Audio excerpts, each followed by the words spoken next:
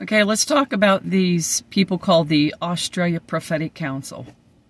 You know, I don't have anything else to lose. You know, me and my husband, we left Australia. He left his home. I left, um, you know, my friends and family that we've been a part of Australia for, I've been a part of Australia for 12 years.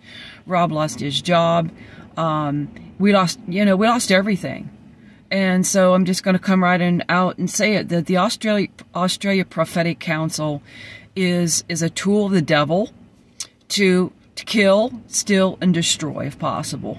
And there are people that are sitting underneath, underneath it thinking that Failing Sparks and people that are in her circles are being given um, apostolic revelation from God, but they're not. They're deceivers and they're deceived and deceiving other people. And you need to stay away from them, or you could lose your house, your job, or maybe have to leave the country too